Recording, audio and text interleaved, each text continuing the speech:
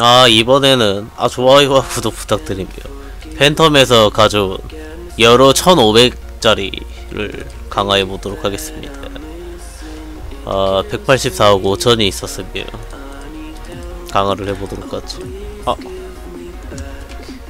일단은 빼야 되는데. 장착을 안 했어가지고 안 켜지는 거구나 잠시만요. 자, 일단은 심볼을 빼고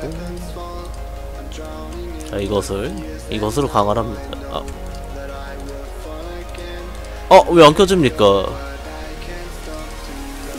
아케심을 되돌리기 위해서는 소멸의를 장착하지 않고 소자버립니다. 아, 이것을 1500짜리를 넘기도록 하겠습니다.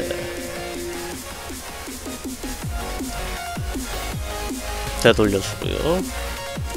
자, 이것을 장착을 합니다. 이제 레벨업을 해야 되는데. 깜짝 놀랍니다. 돈이 다 사라집니다. 여로. 좋습니다.